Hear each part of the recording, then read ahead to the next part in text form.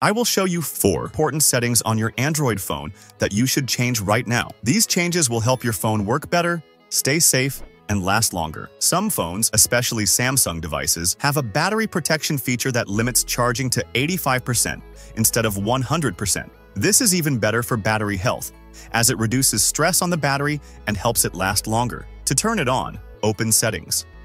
Scroll down and go to Battery and Device Care. Press on Battery scroll down and go to More Battery Settings. Find Protect Battery and turn it on. Now, your phone won't charge beyond 85%, which will increase battery life in the long run.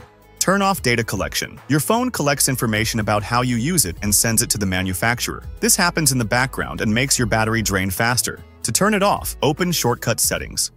Scroll down and go to Privacy. Scroll down and find Send Diagnostic Data and turn it off.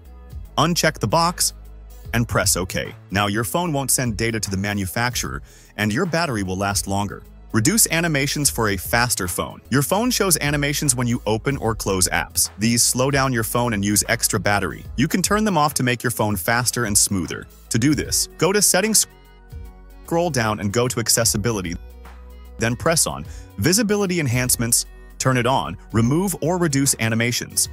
Now, your phone will work faster and last longer on one charge. Hide message. Content on lock screen. When you get a message or email, the content appears on your lock screen. This means anyone nearby can read your messages, even without unlocking your phone. To fix this, open Settings.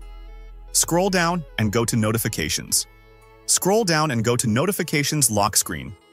Select Hide Content.